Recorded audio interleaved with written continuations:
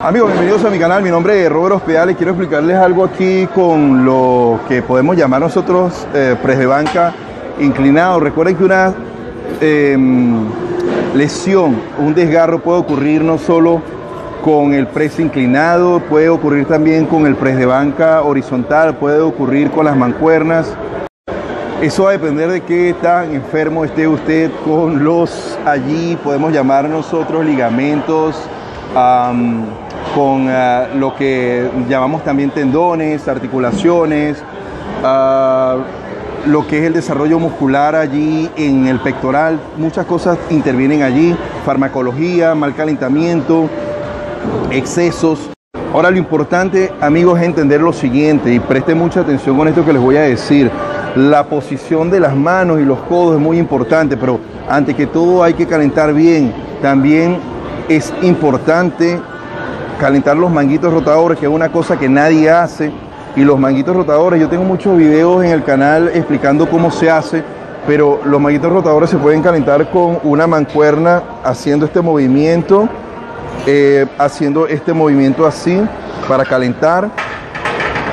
Y no solo con las mancuernas, porque si se hace con un cable es mucho mejor porque hay una tensión constante del movimiento.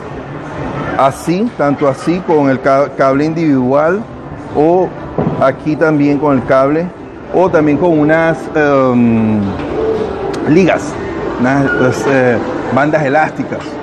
Ahora, yo les quiero explicar algo bien importante para que lo entiendan aquí y es lo siguiente, cuando ustedes van a agarrar, eh, cuando ustedes van a mantener un agarre aquí para poder hacer el pecho inclinado, lo mejor es tratar de estar más cerca de los hombros que estar más afuera, porque al estar más cerca de los hombros tienen menos tensión en los hombros y en las articulaciones. Evidentemente trabaja más el tríceps, pero es mucho mejor. Segundo, siempre es bueno agarrar así y no así, porque aquí la barra se puede salir y caerles en el pecho. Aquí también puede ocurrir, pero es bastante complicado que eso suceda. Entonces, ustedes suben aquí y cuando suben traten de echar los codos hacia adelante como lo estoy haciendo aquí y llegar hasta aquí, amigos. No hace falta llegar hasta aquí. Con ustedes llegar aquí es suficiente. Y suben, bajan, uno, dos, tres, cuatro, cinco, seis. Ahora, ¿cuál es el problema?